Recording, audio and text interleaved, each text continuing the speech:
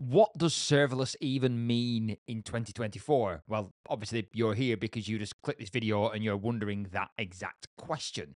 And you're probably listening to this because you're a developer. Maybe you've been developing for many, many years. Maybe you're new to software development, but whatever it is, you're here because you're interested in what serverless actually is. And I want you just to take a moment and then ask yourself the question really, really think of it. When you think of serverless, what does that actually mean to you? So now imagine for a second, now you've got that thought in your head that you need to start building something new, a new application, a new feature, a new service, and you zoom out and you look at the state of the world today. Now imagine for a minute your current company, whoever it that is that you're working for, loves containers. They love building with containers and they love the power of Kubernetes. Wait, what? I'm not allowed to say that. This is a serverless YouTube channel, right? Sorry, go again. They love containers. They love the value of working with that container orchestrator that we're not allowed to talk about. You value the order that working with containers brings to your world. It gives you that same feeling you got back when you were deploying to servers. To work in this way, you don't need to understand anything new, anything different. You can build with containers with the same tools, the same technologies that you're used to, and then package them up and deploy them in a way that feels familiar. And as humans, we all love familiar, cozy things like a nice warm jumper on a cold winter's day. There's a catch. The familiar has its downsides. Scalability, resilience, these things are your problem now. Yes, you in there. And whilst they might not be your problem personally, somebody somewhere in your company needs to manage these things. And that's before you even consider the utilization of the infrastructure that running the container orchestrator that nobody needs to talk about needs. Underutilizing compute is a problem that just doesn't go away, it just shifts around, and sustainability is all of our responsibilities. So then you look over to the world of serverless with your application that you need to build. You hear the promise of scalability, of resilience, of things scaling all the way to zero and you only paying for exactly what you use, of being reactive with your compute and only utilizing your resources exactly when you need them, of being able to, as a developer, write code, push code, and it just runs. But honestly, I know how it feels. It feels a bit unknown, doesn't it? A bit scary. You need to learn a new way of building, of thinking about systems. You need to learn about event driven architecture, about how to understand these different Lego pieces of serverless services that have just been pieced together. And you want to understand exactly how they're working. And actually, when you look at your serverless architecture diagrams, they look a lot more complicated, don't they, than your nice, neat container image that's packaged up and ready to ship straight out. And you actually wonder to yourself, is it all worth it? And that's before you even consider the fact that every single service ever released at the moment seems to be serverless. So, what does it even mean? Should you just stay with the comfortable, with the way you've been building applications for a while? Or should you live outside your comfort zone a little bit? Live where the magic is. This is where you can become the hero. And actually, this whole conversation about containers or serverless is something that you probably don't even need to care about. So, coming back to the question, what does serverless actually mean in 2024? Because it has come a little bit diluted, become overused, maybe even a little bit of a buzzword. Shh. And the way you should think about serverless is as a spectrum, not as a binary decision. You don't have to choose to be serverless or not be serverless. Serverless is a way to reduce your operational overhead as much as possible. And you can choose to be more or less serverless based on the specific needs that you have as a developer. Now, at one end of this serverless spectrum, you have functions, things like AWS Lambda. You write your code, you ship your code, and it kind of just works, it just runs. Think back to the first time you ever used Lambda. I'm sure you had an experience that went something like this you wrote some code, you pushed some code, and then actually the code just worked. And before you knew it, you had a fully functioning application. And the infrastructure behind that application was fully managed and operated by AWS. And if you hadn't noticed, AWS are pretty good at managing infrastructure. And here's the cool thing thinking about serverless in this way as a spectrum gives you some cool options as a developer because at the other end of this spectrum, you have things like virtual machines, EC2 instances. And then somewhere around here in the middle, you have containers. And you don't need to lose your lovely containers. They're nice little packaged pieces of code that you love to ship. And in fact, the AWS serverless hero AJ Stuyvenberg did some really wonderful analysis on this and actually made a case for why containers should be your default choice for running applications on Lambda. And when you come all the way down to the code level, you don't actually have to lose any of the frameworks and tools that you know and love. If you take a typical web API, I've got a web API here packaged up as a Docker image. I can run that. I get an application running on port 8080 on my machine. It doesn't actually matter what this application is behind the scenes.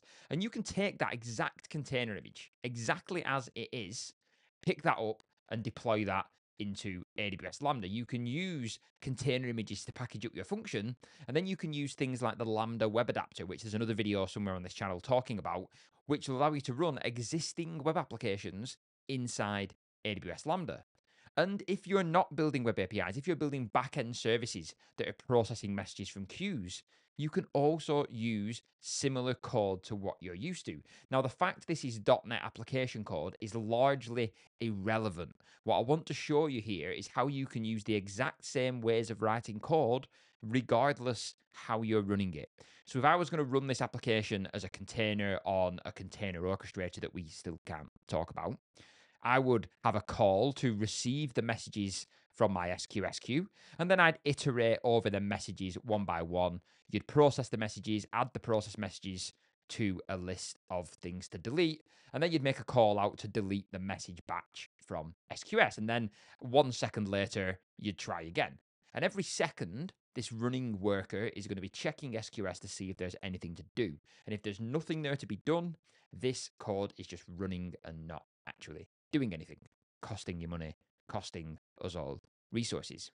If you were to take this exact same system and run that in Lambda instead, your code looks almost identical.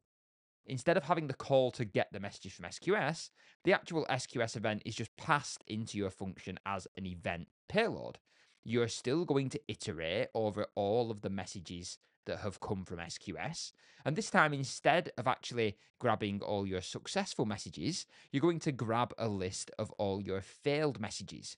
Pass that list of failed messages back to Lambda, and that will delete any messages from the SQS queue that were successful and leave any in the queue that failed. And the important thing here is that you're still packaging your code as a container. You're still looping over SQS messages. You're still processing records from Kafka if that's what you're using. However, the difference is AWS are handling all of that communication with the queue, with Kafka on your behalf. And when there are no messages there to work with, your code isn't actually running, it's not costing you anything, it's not using any resources. So you can just take these container images, package these container images, ship them up to AWS, and AWS is going to handle everything else for you. And the real beauty of all of this is that now you have a container image, you can run it anywhere. A point of fear you will inevitably come across when you research functions is cold starts. Cold starts are the time it takes for a function environment to react to an event, scale up, and then service your request. And whilst AWS have released data showing that under steady state load, this affects less than 0.1% of traffic, this can still be a problem. And in your budding journey as a serverless developer, this is going to give you pause for thought. And you start to think, wouldn't it be easier just to step back into comfort? To step back into the wonderful world of container orchestrators and that orchestrator that we're still not allowed to talk about. Are we allowed to? No, we're not allowed to talk about it. You could take the easy way out, roll back, deploy things the same way you always have. But remember, now you have a container image, a container image that's using the same web framework that you're working with. So, guess what? You can take that exact same container image and deploy that to a different service. And you can still be on the serverless spectrum, but maybe just slightly off the far end. Maybe you're kind of here somewhere using something like AppRunner or ECS Fargate. You can run containers in something like a serverless way. Now, the purists will, rightly so, I must add, argue that serverless services must scale to zero. And whilst I agree with that, and in a perfect world, everything is pay per use and everything scales to zero. As you all know, the world isn't perfect. Your life as a software developer is simply one big collection of trade offs. And just because your Lambda doesn't fit exactly into the Lambda paradigm doesn't mean you need to jump off the other end of the serverless spectrum and take on all of this responsibility yourself. If you took that exact same web API container image, deployed that to Amazon ECS with Fargate, you have pretty much the same operational overhead as you would with Lambda.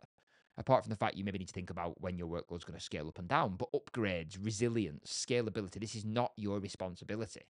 And again, you've got the might of AWS managing your infrastructure. And to reiterate, AWS are pretty good at it. So combining these two approaches give you something of beauty, actually. You've got long running processes for low latency web facing workloads that need to respond really quickly to delight your users. And then you've got these reactive event driven functions that are performing the bulk of your hard work, reacting to events, running exactly when they need to, and optimizing cost and resource consumption.